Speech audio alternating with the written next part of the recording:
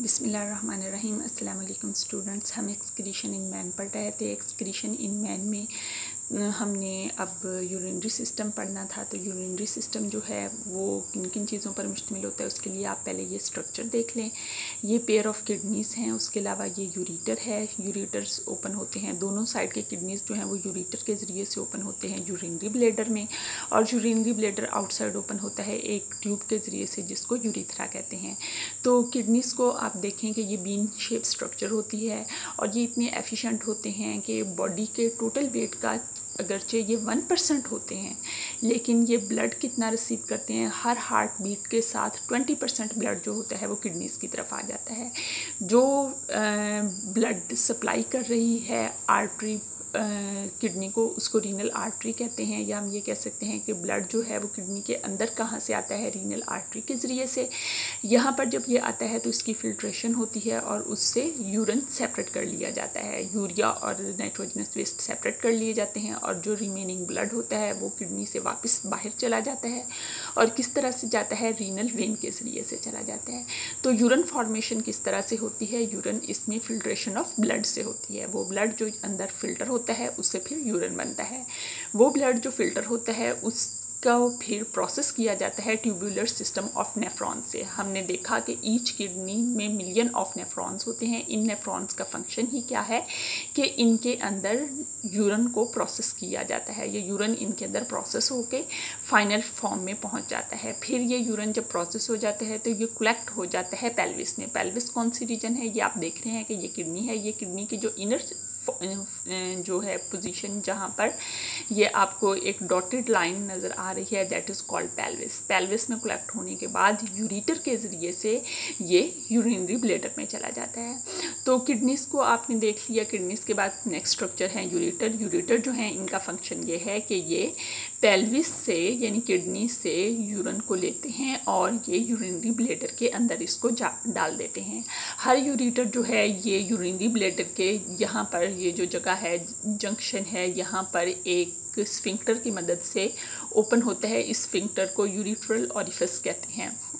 फिर उसके बाद यूरी, यूरिनरी ब्लेडर जब फुल हो जाता है तो उसके बाद ये यूरीथ्रा के ज़रिए से, जो कि एक ट्यूब है, ये आउटसाइड ओपन होता है और यूरीथ्रा और यूरिनरी ब्लेडर की बेस पर भी एक स्फिंक्टर मौजूद है, स्फिंक्टर मसल मौजूद है, जो कि यूरिन की आउट पास को कंट्रोल करता है। स्टूडेंट्स, अब हम structure of kidney and nephron देखते हैं तो ये किडनी है। किडनी के दो मेन पोर्शन होते हैं, जो आउटर पोर्शन होता है, उसको कॉर्टेक्स कहते हैं और जो इनर पोर्शन होता है, उसको मेडोला कहते हैं।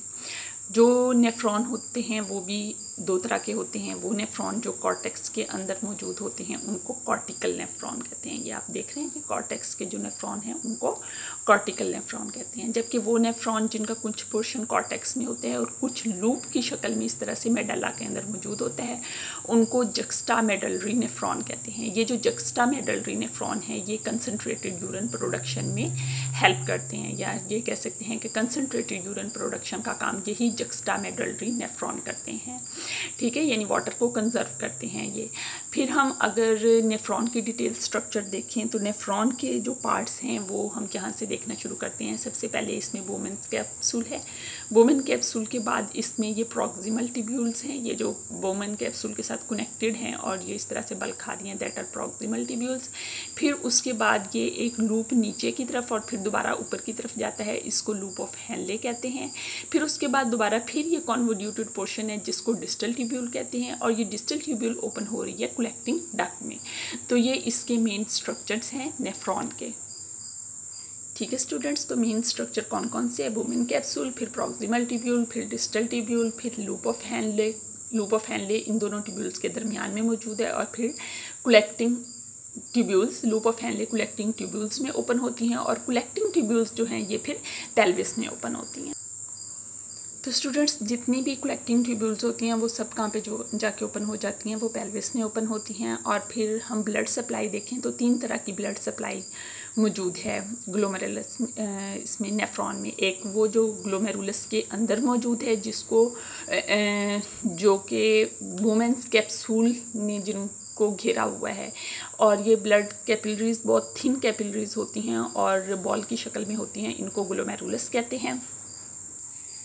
यहाँ पर आप ये देख लें कि ये वुमेन कैप्सूल है। इसके अंदर ये बॉल ऑफ़ ब्लड कैपिलरीज मौजूद है और इनको ग्लोमेरुलस कहते हैं।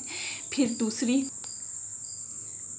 दूसरी जो ब्लड सप्लाई है, वो पेरीट्यूब्यूलर कैपिलरीज हैं। ये around all urinary tubules specially distal and proximal tubules में मौजूद ये आप देख लें कि ये वाली जो ब्लड सप्लाई है, जो प्रॉक्सिमल ट्यूब्यूल और डिस्टल ट्यूब्यूल के लिए ये मैंने रेड कलर में बनाई हुई है।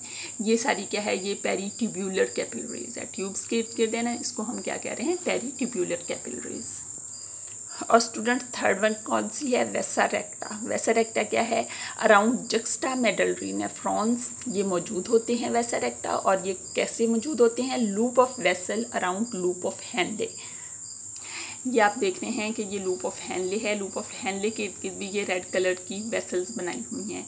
ये जक्स्टा मेडलरी नेफ्रॉन्स में होती हैं। दो तरह के नेफ्रॉन आपको बताया ना, कॉर्टिकल नेफ्रॉन और जक्स्टा मेडलरी नेफ्रॉन। तो जो जक्स्टा मेडलरी नेफ्रॉन होते हैं, उनके इर्द गिर्द ये वाली आर्टरीज मौजूद होती हैं और ये जो लूप डाउन हुई हुई हैं नीचे ये जो मौजूद हैं, ट्यूब्स के बाद ये जो नीचे पोर्शन मौजूद है, इसको कहते हैं वेसा रेक्टा।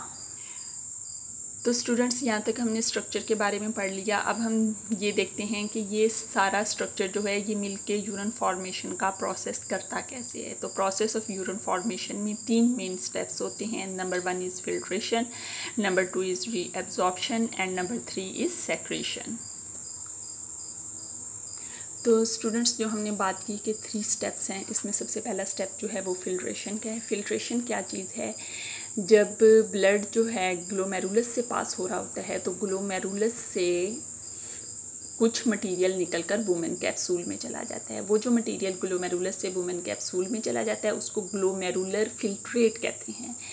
ये क्यों चला जाता है? ग्लोमेरुलस जो है, उसकी वॉल्स पोरस होती हैं और ग्लोमेरुलस में पीछे से ब्लड जो है, वो एक प्रेशर से आ रहा होता है। उस प्रेशर को ग्लोमेरुलर प्रेशर कहते हैं, उस प्रेशर की वजह से पोरस वॉल्स में से ब्लड के कुछ कॉन्स्टिट्यूंट्स निकल कर वुमेन कैप्सूल में चले जाते हैं। चूँकि जो ग्लोमेरुलस से आए हैं, इस वजह से इनको ग्लोमेरुलर फिल्ट्रेट कह रहे हैं और आगे नेक्स्ट हम इसके लिए फिल्ट्रेट का लफ्ज़ ही इस्तेमाल करते रहेंगे। ठीक है, यहाँ पे आप स्ट्रक्चर में देख लें कि ये ग्लोमेरुलस है और यहाँ से कुछ लिक्विड पोर्शन निकल कर कहाँ चला जाएगा? ये जो इसके इर्द गिर्द वुमेन कैप्सूल मौजूद है, इसके अंदर चला जाएगा। और जब इसके अंदर आ जाएगा तो उस वक्त हम इसको क्या कहेंगे? Glomerular filtrate. अब ये ग्लोमेरुलर फिल्ट्रेट जो है, ये आगे आगे पास होता जाएगा और यूरन फॉर्मेशन का प्रोसेस होता जाएगा।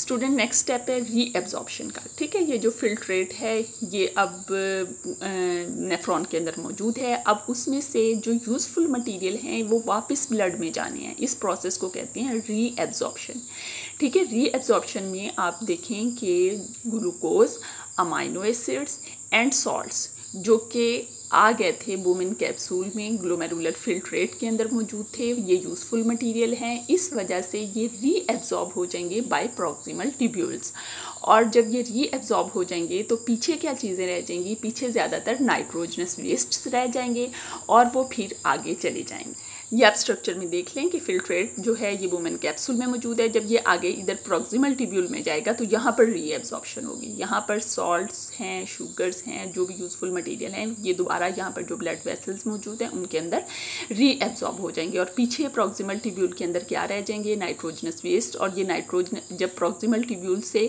ये फिल्ट्रेट आगे मूव करेगा तो इसके अंदर जस्ट नाइट्रोजनस वेस्ट होंगे। यूज़फुल मटीरियल इसमें से री एब्जॉर्ब हो चुके होंगे। ये नाइट्रोजनस वेस्ट अब इधर से मूव करेंगे।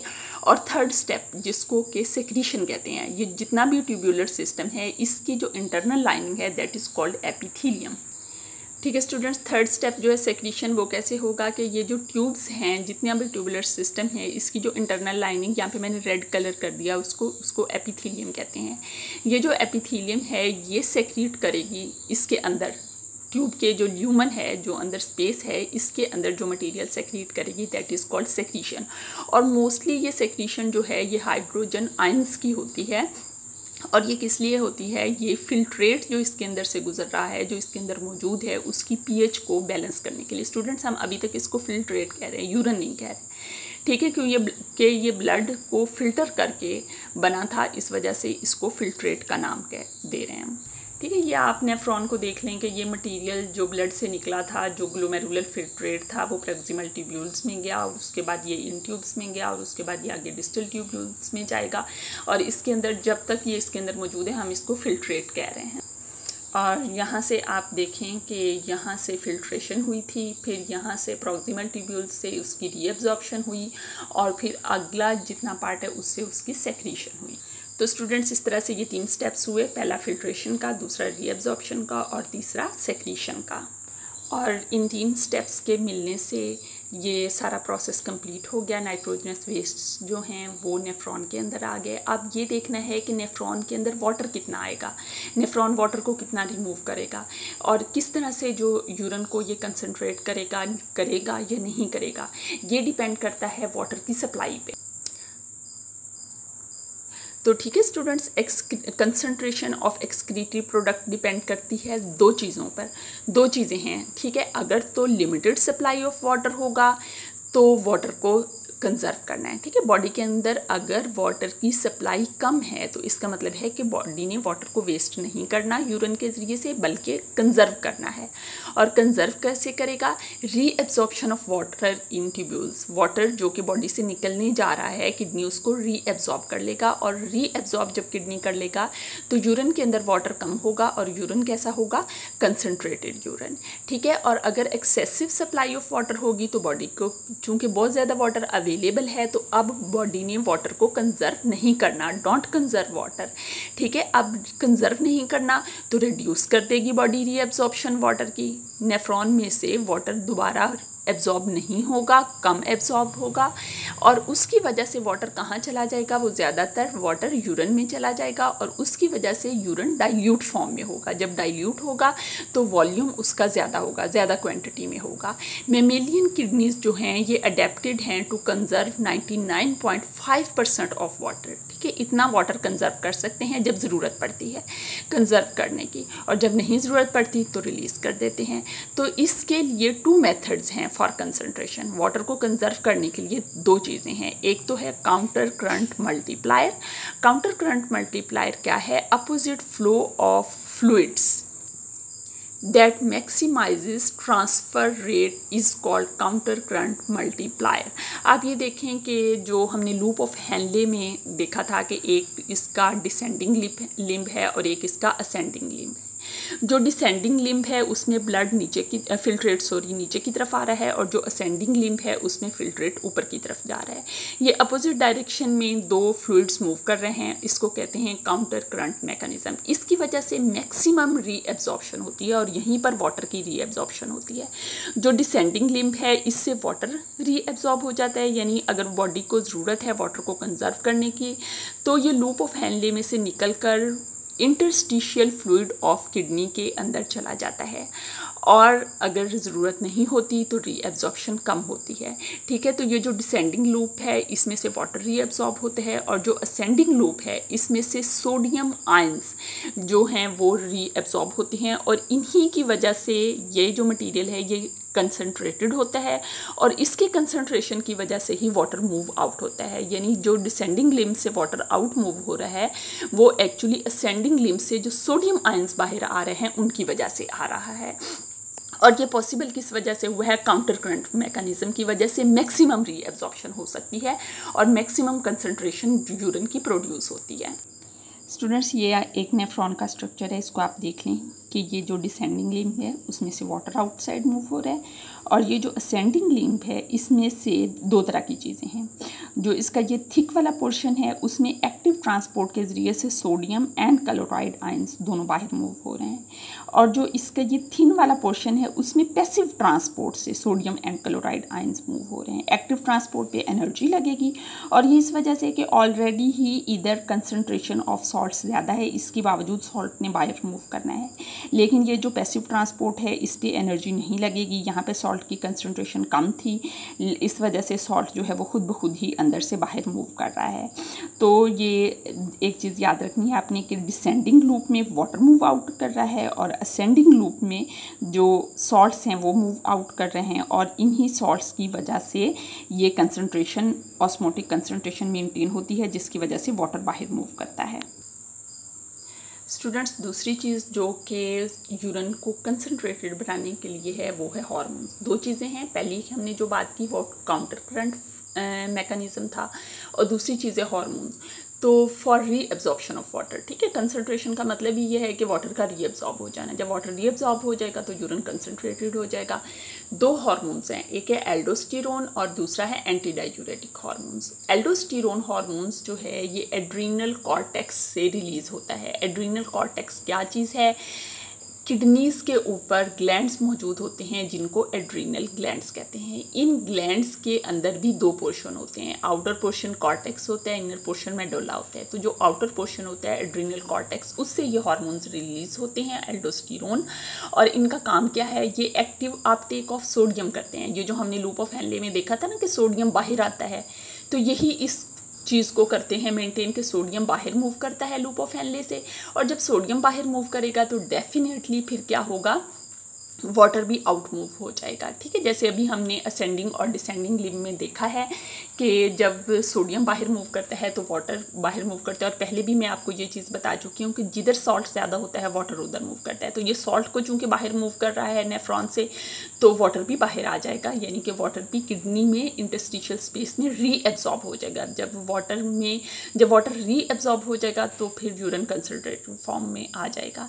दूसरा हार्मोन है ए ये जो ए हार्मोन है, ये कहाँ से रिलीज़ हो रहा है? ये पोस्टीरियर पिचूटरी लोब से। पिचूटरी ग्लैंड जो कि ब्रेन के साथ अटैच होता है, उसके लोब्स होते हैं एंटीरियर लोब होता है पोस्टीरियर लोब होता है। उसका जो पोस्टीरियर लोब होता है, उससे ये ADH anti diuretic hormone release होता है और ये क्या करता है? ये reabsorption of water in collecting tubule collecting tubules जो होती हैं, उनमें वाटर को रीअब्जॉर्ब करता है। कलेक्टिंग ट्यूब्यूल क्या होती हैं? मैं आपको दिखाती हूँ।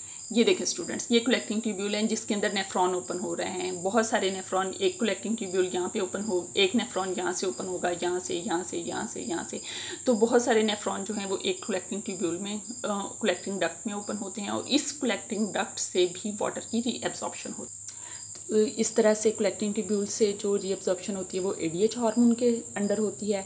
Kidneys produce different concentration of urine shows that they are osmoregulatory organs in addition to excretory organ तो शुरू में हमने बात की थी एक्सक्रीशन इन मैन की, लेकिन आप देख रहे हैं स्टूडेंट्स कि ये एक्सक्रीशन यानी नाइट्रोजनस वेस्ट की रिमूवल के अलावा वाटर की कंसनट्रेशन को भी कंट्रोल कर रहे हैं। अगर बॉडी को ज़रूरत होती है तो ये वाटर को रीअब्जॉर्ब कर लेते हैं। अगर एक्स्ट्रा वाटर होता है, ये उसको एक्सक्रीट कर देते हैं। तो इस तरह से ये वाटर के लेवल को भी मेंटेन कर रहे हैं।